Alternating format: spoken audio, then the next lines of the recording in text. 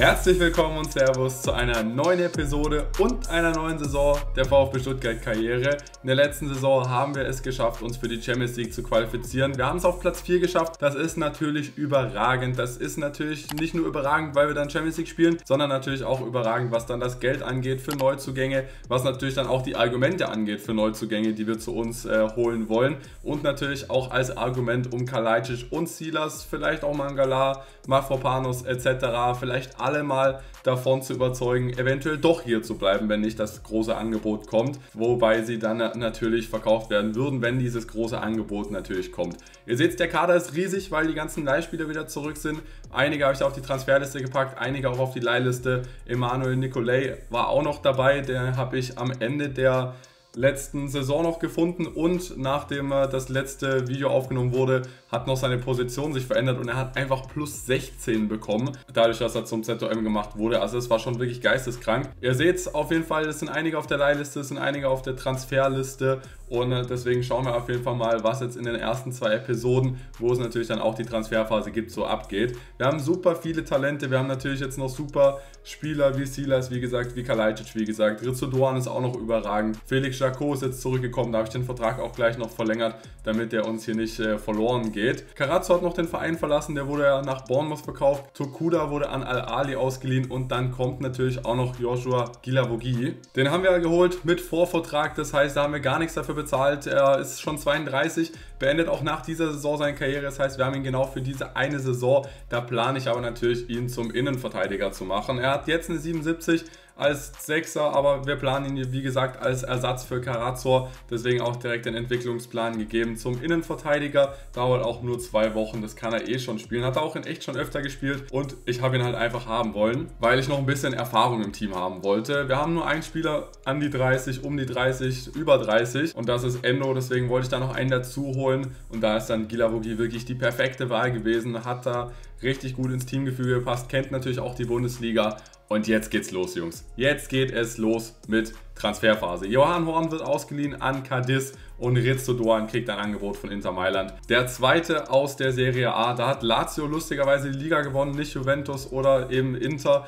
Die sind wie gesagt Zweiter geworden, wollen sich jetzt aber mit ihrem Kader irgendwie noch ein bisschen verstärken, haben deshalb dann auch ordentlich Geld auf den Tisch gehauen. Erst wollten sie uns Saha andrehen, das wollte ich nicht haben. Ich habe ihnen gesagt 45 Millionen, dann geht der Deal auch über die Bühne und das hat dann auch funktioniert. Rizzo Doan also Neuzugang aus der ersten Saison, wurde jetzt an Anfang dritter Saison verkauft. Es ist halt ein Top-Club gewesen. Ich habe gesagt, wenn die Top-Clubs kommen mit viel Geld, dann wären wir auch gesprächsbereit bei den meisten Spielern. Und so war es dann auch wieder. Sein Ersatz 10 Millionen billiger war dann Pedro de la Vega. Und das, glaube ich, ist ein richtig geiler Transfer kommt ja dann auch so in Richtung Klimovic, in Richtung äh, Gonzales. Äh, einfach eine sehr offensiv starker, technisch versierter Argentinier aus der argentinischen Liga. Der ist auf jeden Fall bereit für den nächsten Schritt. Deshalb, wie gesagt, auch 35,5 Millionen gekostet. War genau sein Marktwert. Das haben wir direkt bezahlt.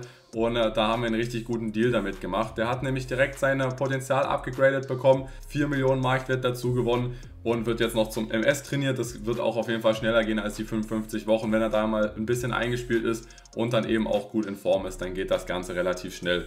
Gut in Form war auch Florian Müller, deswegen wollte Juventus hier ihre Torwartreihe verstärken oder besser gesagt, äh, sie haben halt genau einen Torwart, das ist Wojciech Chesney. Der ist natürlich noch besser als Müller, aber so als Nachfolger von ihm könnten sie hier mit Florian Müller eine gute Wahl getroffen haben. Sie haben 36,5 Millionen auf den Tisch gelegt und dann konnte ich natürlich nicht Nein sagen.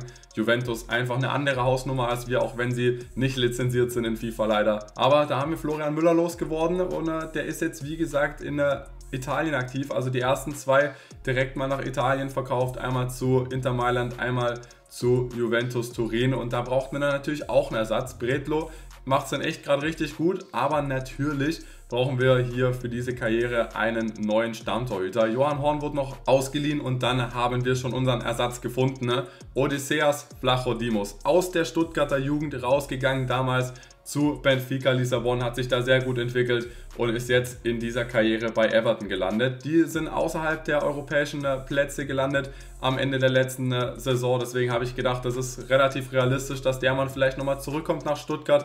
Ich glaube, damals gab es auch keinen großen Stress. Der wurde einfach aus Leistungsgründen damals aussortiert. Man hat nicht viel in ihm gesehen. Das war offensichtlich die falsche Variante, weil offensichtlich ist er ein sehr, sehr guter Torhüter mit Champions League Niveau. Hat er bei Lissabon schon ein paar Mal gezeigt, deswegen habe ich da auch das Geld auf den Tisch gelegt. Er ist sogar ein Rating höher als Müller, er ist natürlich aber auch ein bisschen älter. Aber ich denke, das ist eine richtig geile Verpflichtung. Ich denke, der kann da unseren Kasten sauber halten. Ne? Dann noch ganz lustig, Nicolay wurde an Cadiz ausgeliehen, genauso wie Horn. Das heißt, wir haben da jetzt zwei Jungs, die in der zweiten spanischen Liga bei Cadiz spielen. Da können wir mal ein Auge drauf behalten, wie gut die da spielen, wie gut die sich entwickeln und äh, ob sie mit Cadiz vielleicht irgendwas erreichen. Das wäre ja auch cool, wenn die zwei die irgendwie zur, zum Aufstieg führen könnten. Das wäre auch auf jeden Fall eine coole Story so am Rande. Enzo Milo war dann der nächste Spieler, der ein Angebot bekommen hat und das wurde auch angenommen. Enzo Milo, da habe ich einfach keine, keinen Gebrauch dafür, muss ich ganz ehrlich sagen. Deswegen waren mir da auch 3,1 Millionen mehr als genug. Da wollte ich nicht so groß diskutieren. Braga kann sich da gerne bedienen,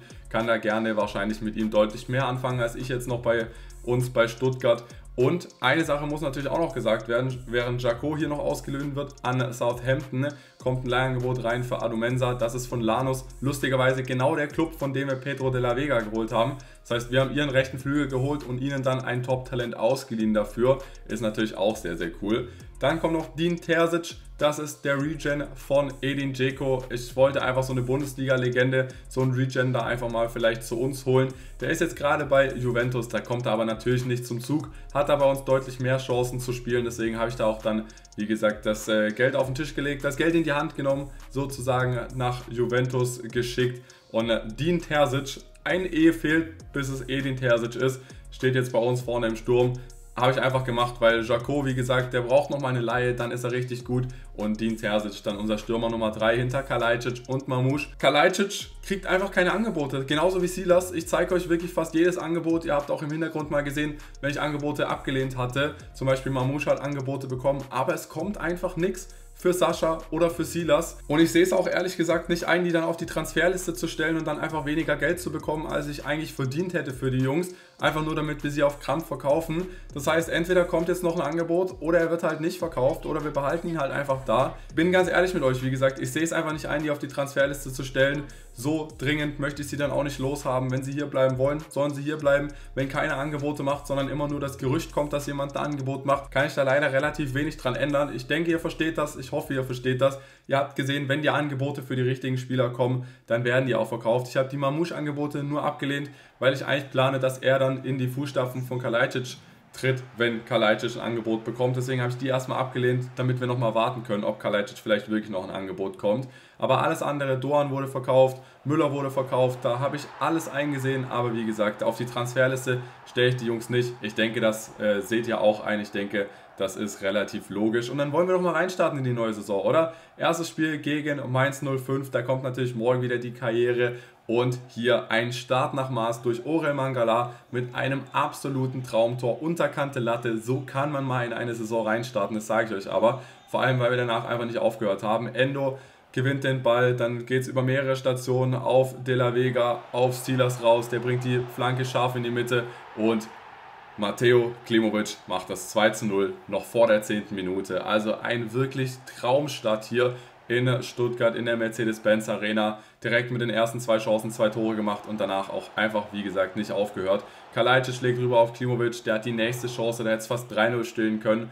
Und dann kommt erst kurz vor der Halbzeit oder quasi mit dem Halbzeitpfiff das erste Lebenszeichen von Mainz. Bitter für uns, ist auch nämlich drin. Burkhardt mit dem 2 zu 1, wie gesagt, da kommt dann der Mainz nochmal ran, kurz vor der Halbzeit. Ist natürlich ein psychologisch wichtiger Zeitpunkt. Sie hatten dann natürlich einiges vor, aus der Halbzeit rauskommen, wollten da wieder mitspielen aber ich hatte natürlich auch einiges vor. Ich wollte da wieder für klare Verhältnisse sorgen, deshalb sehr offensiv gespielt. De La Vega, unser neuer Zehner mit dem Distanzschuss, hat leider noch nicht getroffen, aber dann wurde es Zeit für ein neues Debüt. Terzic kommt rein für Kalajdzic, der war noch nicht so hundertprozentig fit, der hat auch nicht so richtig überragend gespielt, hat hier und da mal was äh, dazu beigetragen zum Spiel, aber überragend war er wirklich nicht heute. Deswegen habe ich mich da gut gefühlt, Terzic reinzubringen.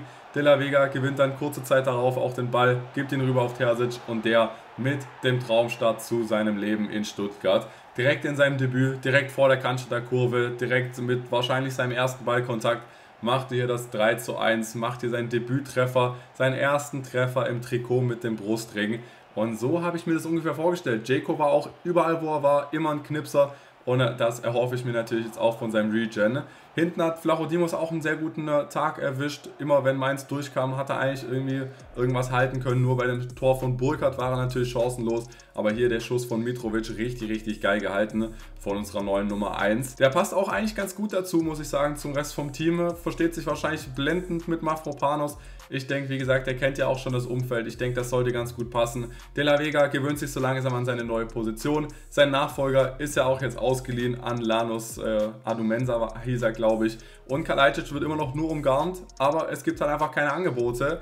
Deswegen konnten wir da noch nichts verkaufen. Silas genauso. Und äh, das war es dann auch für diese Episode. Die ersten drei Sind fix. De La Vega, Flachodimos, Terzic sind, denke ich, gute Einkäufe, um dieses Team hier zu verstärken oder besser gesagt, um die Abgänge aufzufangen von Müller und von Doan. Es sieht schon mal richtig gut aus hier, dieses Team. Ich kann euch auch sagen, dass Gila Vogie auf eine 80 hochgegangen ist, als wir ihn zum Innenverteidiger gemacht haben. Ich will ihn trotzdem nicht in die Starter stellen, weil ich meine, er spielt eh nur noch ein Jahr. Er ist einfach nur da, um Verletzungen aufzufangen und um natürlich englische Wochen, ne, da das Rotieren zu ermöglichen. Ne? Deswegen würde ich sagen, sind wir schon mal ganz gut aufgestellt für die neue Saison. Wir haben natürlich aber noch ordentlich Zeit jetzt in der nächsten Episode nochmal auf dem Transfermarkt aktiv zu werden und vielleicht wird uns ja wirklich noch ein Star weggekauft. Wenn euch diese Episode jetzt aber gefallen hat, lasst gerne noch ein Like da, lasst auch gerne noch ein Abo da, dann verpasst ihr keine neuen Videos. Schaut mal bei unserer Anna hier vorbei und dann würde ich sagen, sehen wir uns beim anderen Video wieder. Macht's gut. Ciao, ciao.